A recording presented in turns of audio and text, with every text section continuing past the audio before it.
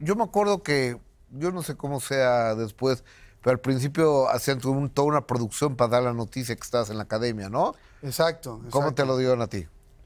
Entonces, de repente, los papás de, los papás de Manuel me dicen, oye, queremos que vengas a, a dormir a la casa.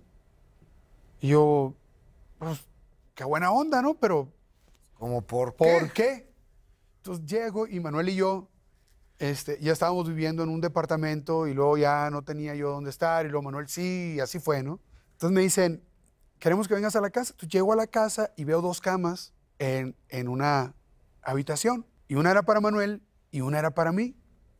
Entonces se me hizo rarísimo. Dije, ¿qué onda? O sea, ¿por qué nos están dando ahora la oportunidad si los dos ya estamos peludos? Aparte yo ya tengo un hijo, ¿no? O sea, tenía 22 años.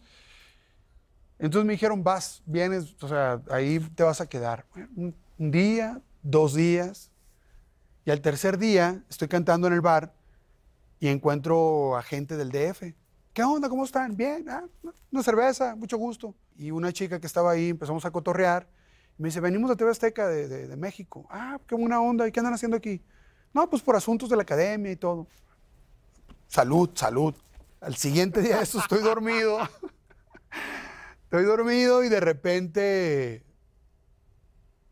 me despierto, veo una, una lámpara de estas adentro del cuarto, veo gente parada en la puerta, o sea, la luz y un ángel, o sea, un, un vato vestido de ángel, con un barbón, un puro así, y me lo topo aquí y dije, ya, ya me morí. ¿o qué? ya, ya bebí mucho anoche. ¿Qué pasó? ¿Qué tomé? ¿Qué me dieron? Me adulteraron. Me adulteraron. El hielo, el hielo.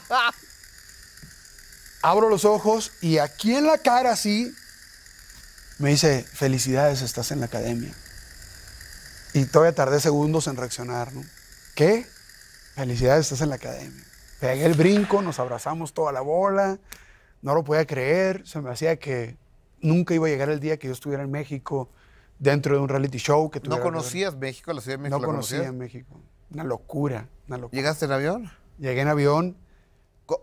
¿Cómo se ve la ahora Ciudad de México, antes Distrito Federal? Me sigo acordando 16 años, 17 años después. Para un chavo que viene del interior, que viene pues, cargado de ilusiones y demás, pero pues, Tijuana es muy pequeño a comparación de la Ciudad de México. Con esto regresa el minuto que cambió mi destino.